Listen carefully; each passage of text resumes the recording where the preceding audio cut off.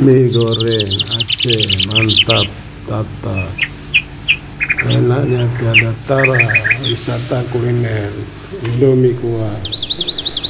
Sedap lezat martabak telur. Ini rasanya maknyus guys. Mie goreng Aceh bumbunya itu terasa. Ini kalau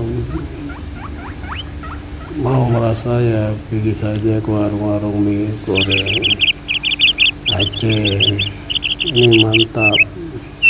Kita rasa tiada tara wisata kuliner. Ini jajanan di Aceh mantap. Kalau lapar perut pengen mie makannya mie goreng. Nah, ini dia. Lihat bumbunya dengan mie